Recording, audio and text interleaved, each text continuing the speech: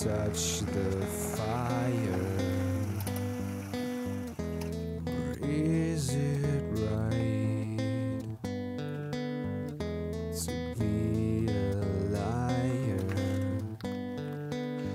There